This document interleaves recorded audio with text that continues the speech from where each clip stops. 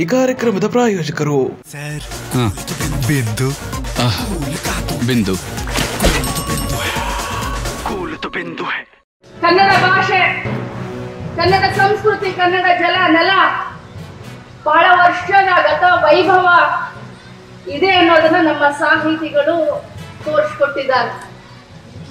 ಭಾರತ ದೇಶಕ್ಕೆ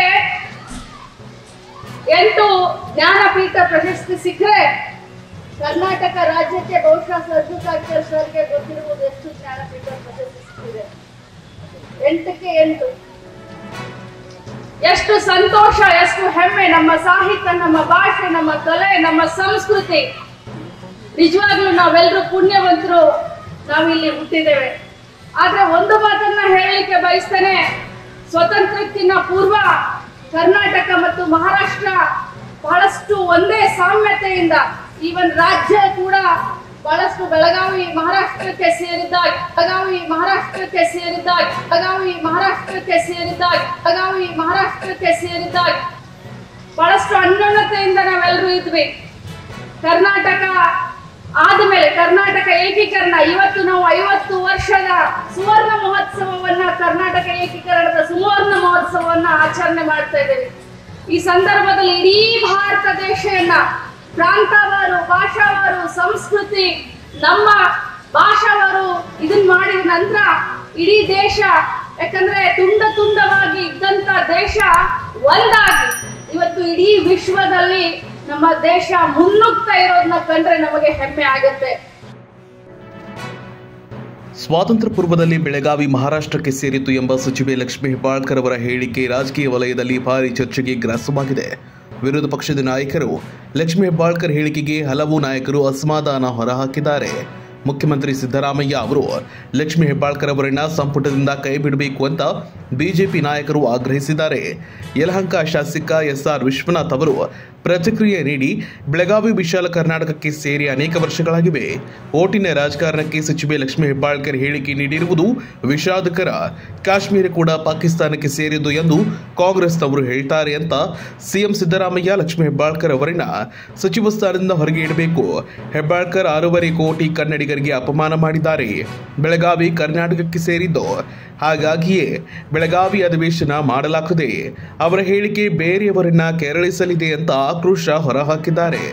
ಸಾಮಾಜಿಕ ಜಾಲತಾಣ ಎಕ್ಸ್ನಲ್ಲಿ ಪೋಸ್ಟ್ ಮಾಡಿರುವ ಬಿಜೆಪಿ ರಾಜ್ಯಾಧ್ಯಕ್ಷ ಬಿವೈ ವಿಜಯೇಂದ್ರ ಅವರು ಸ್ವಾತಂತ್ರ್ಯ ಪೂರ್ವದಲ್ಲಿ ಬೆಳಗಾವಿ, ಮಹಾರಾಷ್ಟ್ರಕ್ಕೆ ಸೇರಿತ್ತು ಎಂದು ಹೇಳುವ ಮೂಲಕ ಸಚಿವೆ ಶ್ರೀಮತಿ ಲಕ್ಷ್ಮೀ ಹೆಬ್ಬಾಳ್ಕರ್ ಅವರು ಕರ್ನಾಟಕದ ಸಾರ್ವಭೌಮತ್ವ ಮತ್ತು ಗಡಿನಾಡ ಭಾಷಾ ಸಾಮರಸ್ಯ ಕೆದಕಲು ಕನ್ನಡತಿ ಎಂದು ಹೇಳಿಕೊಳ್ಳುವ ಜವಾಬ್ದಾರಿಯುತ ಸಚಿವ ಸ್ಥಾನದಲ್ಲಿರುವ ಅವರು ಚುನಾವಣಾ ಕಾಲದಲ್ಲಿ ಸಾಮರಸ್ಯದ ಸಮಾಜಕ್ಕೆ ಬೆಂಕಿ ಹಚ್ಚುವ ಸಾಹಸಕ್ಕೆ ಕೈ ಹಾಕಿರೋದು ರಾಜಕೀಯ ಹುನ್ನಾರ ಅಲ್ಲದೆ ಮತ್ತೇನೂ ಅಲ್ಲ ಅಂತ ಕಿಡಿಕಾರಿದ್ದಾರೆ.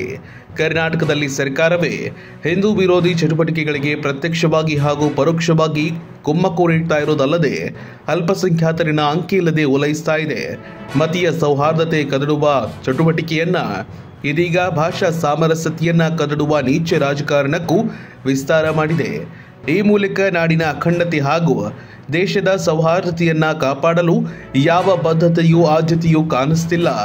ಮತೀಯ ಹಾಗೂ ಭಾಷೆ ಹೆಸರಿನಲ್ಲಿ ರಾಜ್ಯದಲ್ಲಿ ಅರಾಜಕತೆ ಸೃಷ್ಟಿ ಮಾಡುವ ಕೈಯಲ್ಲಿ ಈ ರಾಜ್ಯದ ಆಡಳಿತದ ಚುಕ್ಕಾಣಿ ಸಿಲುಕಿರೋದು ನಾಡಿನ ದುರ್ದೈವವೇ ಸರಿ.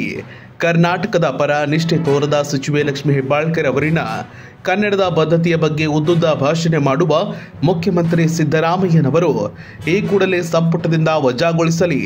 ಆ ಮೂಲಕ ಕರ್ನಾಟಕದ ಸಾರ್ವಭೌಮತ್ವ ಹಾಗೂ ಭಾಷಾ ಸಾಮರಸ್ಯದ ಬಗ್ಗೆ ತಮ್ಮ ನೈಜ ಕಾಳಜಿಯನ್ನು ತೋರಿಸಲಿ ಅಂತ ಹೇಳಿದ್ದಾರೆ. ಬೆಳಗಾವಿ ಜಿಲ್ಲೆ ನಿಪ್ಪಾನಿ ತಾಲೂಕಿನ ಕಾರದುಗ ಗ್ರಾಮದಲ್ಲಿ ಜನವರಿ ಏಳರಂದು ಭಾನುವಾರ ನಡೆದ ಆರನೇ ಕನ್ನಡ ಸಮಾವೇಶ ಸಮ್ಮೇಳನದಲ್ಲಿ ಭಾಗಿಯಾಗಿದ್ದ ಸಚಿವೆ ಲಕ್ಷ್ಮೀ ಹೆಬ್ಬಾಳ್ಕರ್ ಅವರು ಮಾತಿನ ಭರದಲ್ಲಿ ವಿವಾದಾತ್ಮಕ ಹೇಳಿಕೆ ನೀಡಿದ್ದಾರೆ. ಸ್ವಾತಂತ್ರ್ಯ ಪೂರ್ವದಲ್ಲಿ ಬೆಳಗಾವಿ ಮಹಾರಾಷ್ಟ್ರಕ್ಕೆ ಸೇರಿತ್ತು ಎಂಬ ವಿವಾದಾತ್ಮಕ ಹೇಳಿಕೆ ನೀಡಿದ್ದು ಸದ್ಯ ಚರ್ಚೆಗೆ ಗ್ರಾಸವಾಗಿದೆ.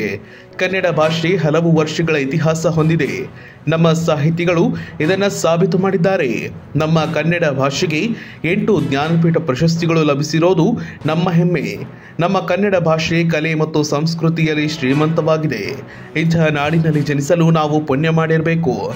ಆದರೆ ಸ್ವಾತಂತ್ರ್ಯ ಪೂರ್ವದಲ್ಲಿ ಬೆಳಗಾವಿ ಮಹಾರಾಷ್ಟ್ರಕ್ಕೆ ಸೇರಿತ್ತು ಅಂತ ಭಾಷಣದ ವೇಳೆ ಲಕ್ಷ್ಮೀ ಹೆಬ್ಬಾಳ್ಕರ್ ವಿವಾದಾತ್ಮಕ ಹೇಳಿಕೆ ನೀಡಿದ್ರು. ಸಚಿವೆ ಲಕ್ಷ್ಮೀ ಹೆಬ್ಬಾಳ್ಕರ್ ಮಾತುಗಳು ಇದೀಗ ಸಾಮಾಜಿಕ ಜಾಲತಾಣಗಳಲ್ಲಿ ವೈರಲ್ ಆಗ್ತಿದೆ.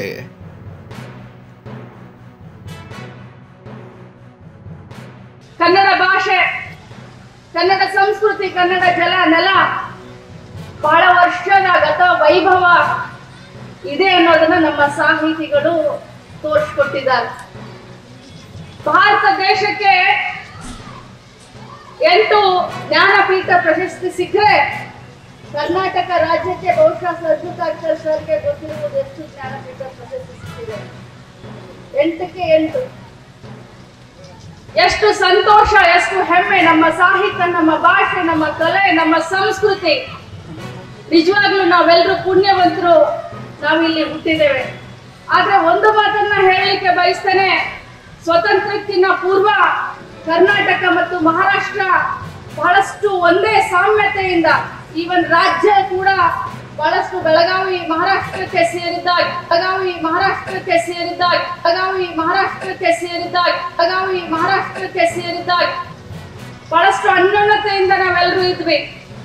ಕರ್ನಾಟಕ ಆದ್ಮೇಲೆ ಕರ್ನಾಟಕ ಏಕೀಕರಣ. ಇವತ್ತು ನಾವು ಐವತ್ತು ವರ್ಷದ ಸುವರ್ಣ ಮಹೋತ್ಸವವನ್ನ, ಕರ್ನಾಟಕ ಏಕೀಕರಣದ ಸುವರ್ಣ ಮಹೋತ್ಸವವನ್ನ ಆಚರಣೆ ಮಾಡ್ತಾ ಇದ್ದೇವೆ. ಈ ಸಂದರ್ಭದಲ್ಲಿ ಇಡೀ ಭಾರತ ದೇಶವನ್ನ ಪ್ರಾಂತವಾರು, ಭಾಷಾವಾರು, ಸಂಸ್ಕೃತಿ, ನಮ್ಮ ಭಾಷಾವಾರು ಇದನ್ನ ಮಾಡಿದ ನಂತರ ಇಡೀ ದೇಶ, ಯಾಕಂದ್ರೆ ತುಂಡ ತುಂಡವಾಗಿ ಇದ್ದಂತ ದೇಶ ಒಂದಾಗಿ. ಇವತ್ತು ಇಡೀ ವಿಶ್ವದಲ್ಲಿ ನಮ್ಮ ದೇಶ ಮುನ್ನುಗ್ತಾ